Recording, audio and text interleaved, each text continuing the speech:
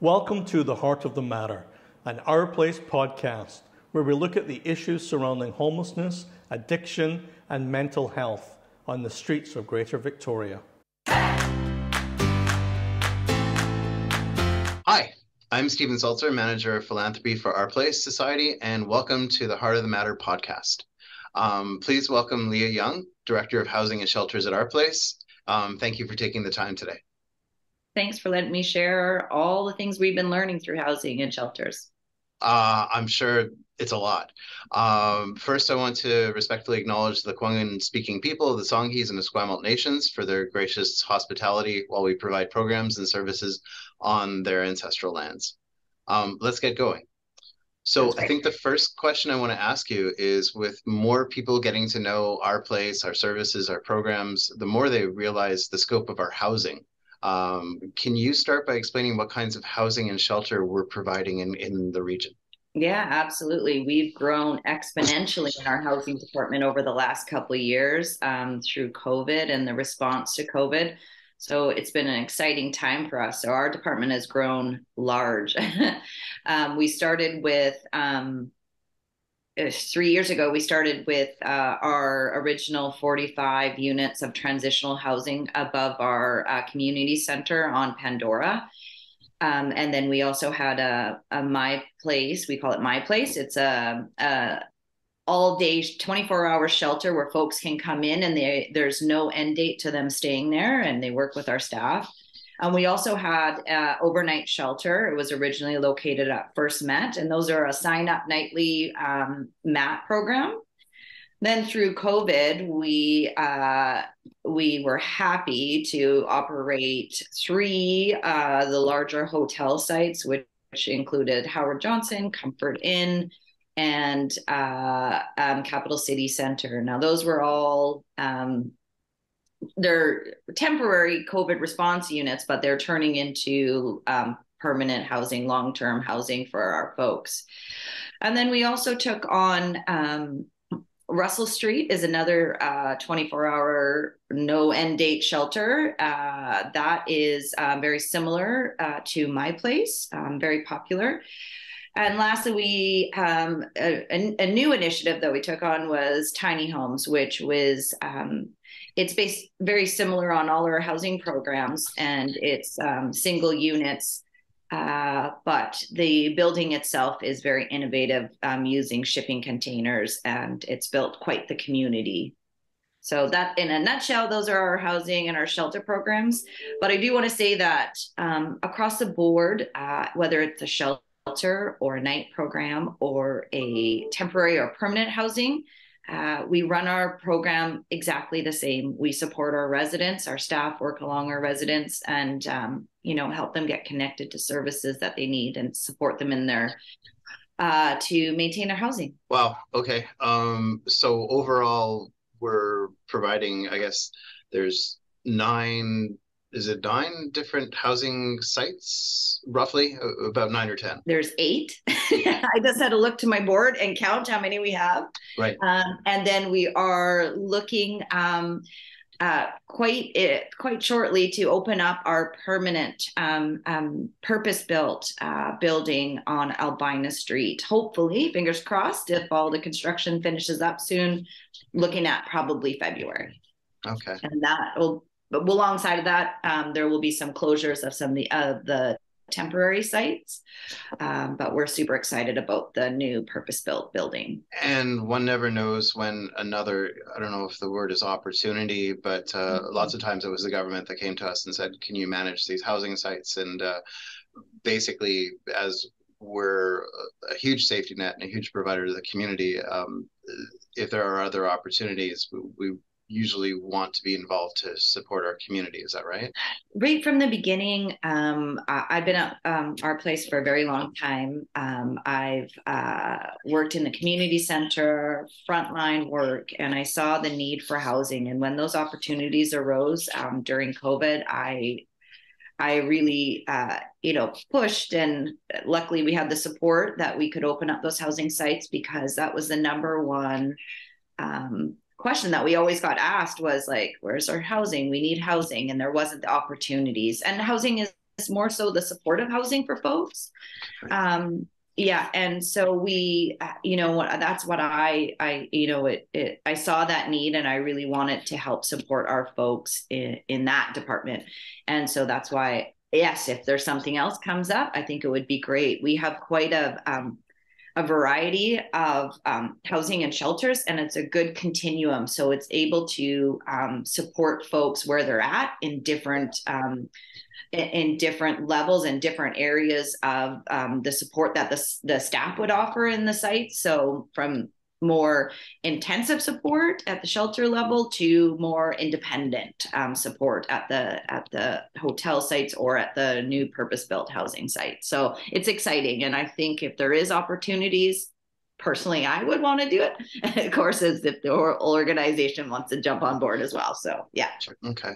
Um, we'll talk in a minute about the kinds of challenges that people who come into our housing uh, have been facing, fa- uh, are, facing, but there's challenges that, that you and your, your team face every day. Um, can you talk about one or two of them? Like Sure. Yeah. Yeah. You you manage all these facilities. You have different staff. You have uh, different people with different needs. What's it like on a typical day? Yeah.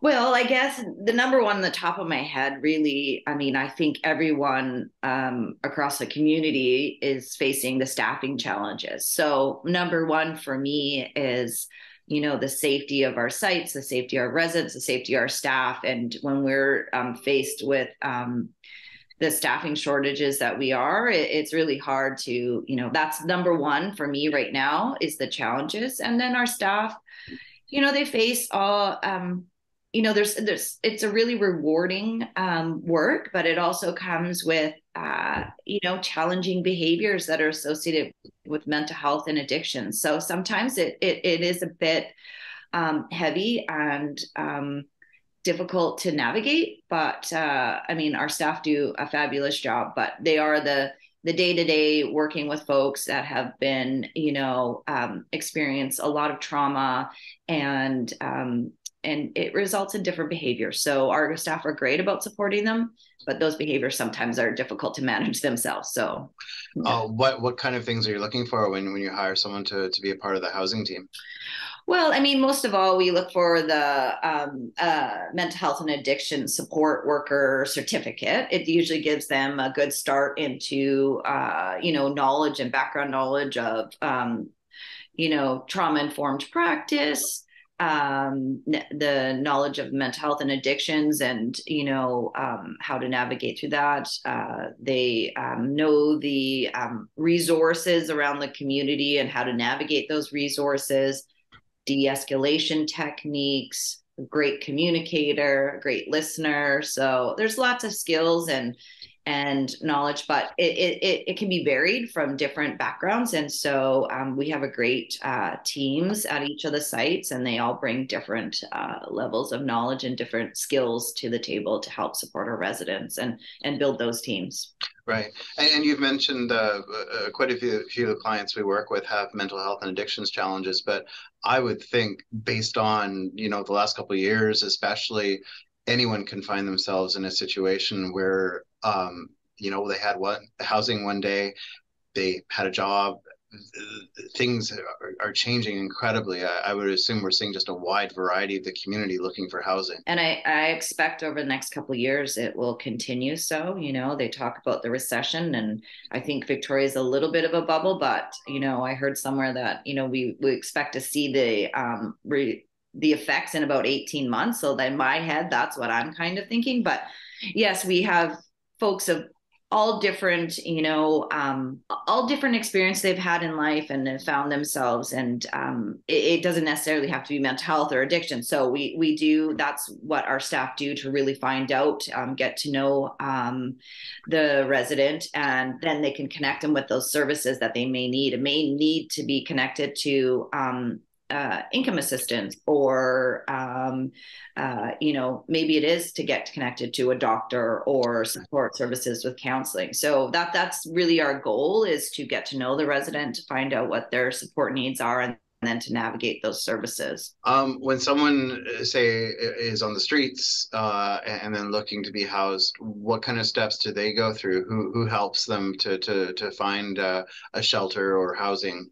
Um, what I always suggest and my advice is uh, our department is the housing department, so we don't necessarily work with connecting folks right from the right from out in the streets or in the camps, but we lean on our um, our uh, outreach team at the community center at 919. We refer people to go connect with them, fill out the housing, um, the BC Housing Supportive Housing referral form.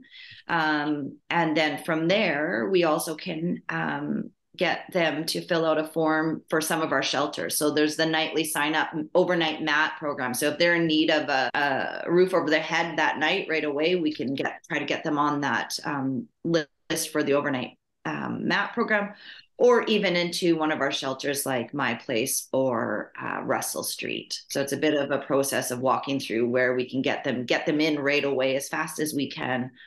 And then from there sometimes there's a bit of a time before they can go from the shelter into uh, a supportive um, site, such as one of the hotels or Albina Street. So um, that's where we uh, lean on our outreach team to do those system navigation. Now, from what you've explained to me in the past, the ideal would be someone, for example, comes off the streets into a nightly shelter and then is able to transition into a, a longer term shelter, maybe a, their own room, uh, longer term, and then after that, maybe even supportive housing or consider Albina, which is long term housing.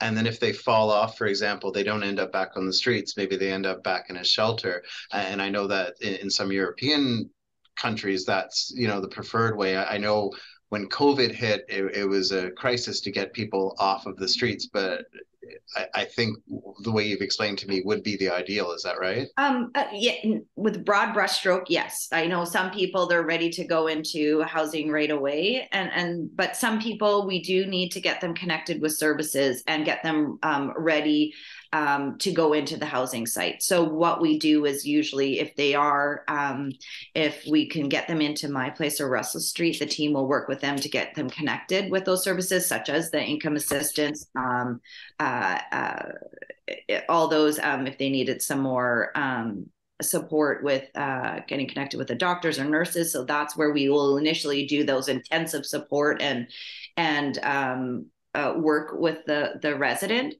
and then once we um, once that the, that individual is ready, we we we work with the coordinated access and assessment team to make sure that they're moved quickly from those shelter sites into the more long-term housing. I assume some go through this two or three times before they do succeed in housing because um, they aren't ready. They they have um, trauma they have to deal with, um, all, all, sorts of situations. So uh, everyone's in a different situation for mm-hmm. the kind of housing they can receive. What what are a couple common challenges that people are seeing before they can be put into housing? Um, uh, you know, like all of us are, we you know attaining our goals is not always linear. So sometimes we take one step forward, two steps back. Um, the good thing about um, the ability for us to work with our residents if they do move into housing and there's some setbacks.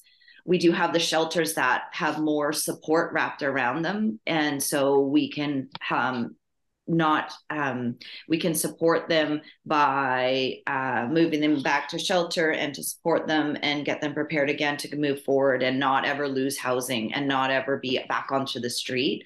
We try our best to um, you know uh, work with the resident and what would what they need at that moment. And we then can help them you know maintain that uh, housing however it looks like for them and what works best for them. So sometimes it's not necessarily a closed door unit with a kitchen.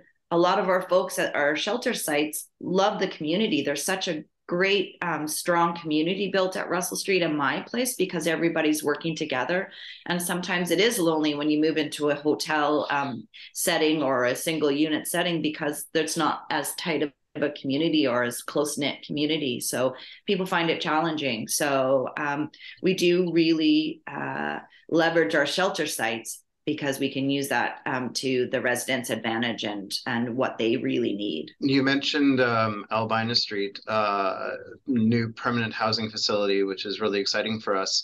Um, what do we need to see from residents before we think that they can transition into a, a, a long-term housing solution like that? Well, um, I have to say it's not only just our decision we work with a coordinated access and assessment system that works throughout the city for all our supportive housing sites with different agencies. So we work with the folks um, on that team to go through the, um, you know, the the referrals that have come in. Um, because that site's more independent, it has kitchens, um, and um, it its location. Uh, we work with that uh, CAA team, coordinated access and assessment team, to find um, the best candidates that uh, have, have come forward in their in their referral. Um, that being said, we are working with um, to close down the temporary site of Howard Johnson, and some of our Howard Johnson folks um, will be moving on to Albina.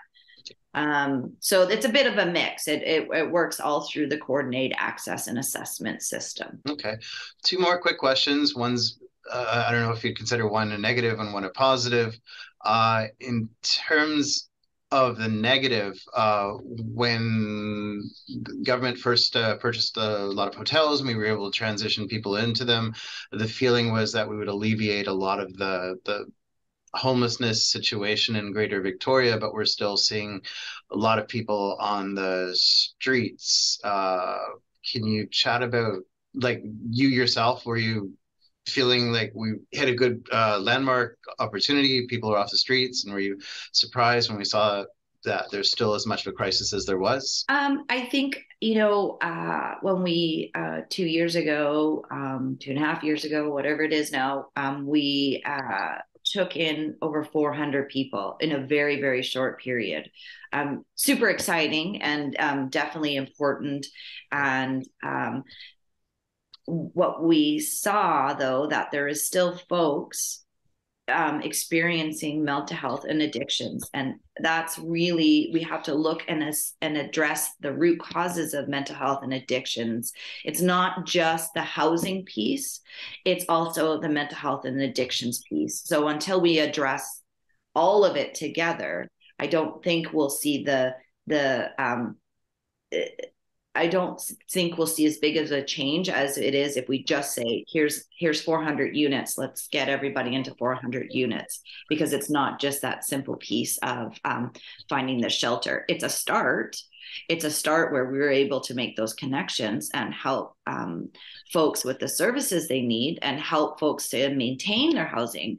But they're still experiencing you know the root causes of what um, you know from mental health and addiction. So that's the piece that needs to also come alongside. Now i know health authority is working to um, with making changes as well but we got to get caught up and uh, align both of them to really um, to make a i guess a, a, dent in the in the in the issue and, and and a visible dent so. And in spite of all of that and the challenges that you face every day uh, which must be huge um, can you talk about some of the positive change you've seen? Uh, I, I, know i've heard stories of people who've come into the shelters from the streets uh, and, and then if you were to take a picture of, of their faces when they walk in versus you know a month later and and the huge difference. You're you and positive change you're seeing in people. Are, are you still seeing that? Oh yeah. I mean that's why my staff and myself come in every single day to work because of um, all the inspiration and hope that we see through our residents um, the changes that they've taken.